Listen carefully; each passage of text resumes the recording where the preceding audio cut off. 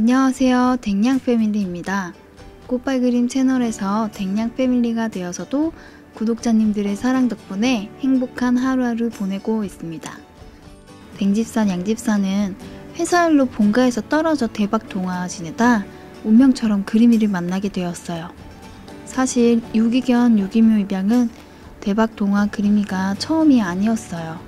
본가에는 이런저런 사연이 많은 댕댕이 9마리와 양이 8마리 친구들이 함께 살고 있었습니다.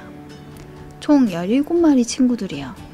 그 중에 달래, 미지, 초롱이, 새별이, 장군이, 공수, 수, 우리 많은 친구들이 노아 또는 병으로 무지개 다리를 건넜습니다. 지금은 본가에 7마리의 친구들이 있어요. 대박 동화 그림이의 영상을 남기면서 떠나간 친구들의 영상이 있었다면 더 많은 순간을 기억할 수 있지 않았을까. 천사 같은 모습을 다시 볼 수 있다면 얼마나 좋을까 하는 후회가 남더라고요. 그래서 모든 친구들의 영상을 남기고자 댕냥 패밀리 채널로 이사하게 되었습니다. 꽃발 그림 채널을 시청해주신 모든 분들께 감사하고 한 가지 부탁드리자면 댕냥 패밀리의 친구들도 많이 사랑해주세요. 구독자님들 새해 복 많이 받으시고 2020년에는 행복과 웃음이 가득한 한 해가 되시길 바랍니다. 댕냥 패밀리 채널에서 만나요.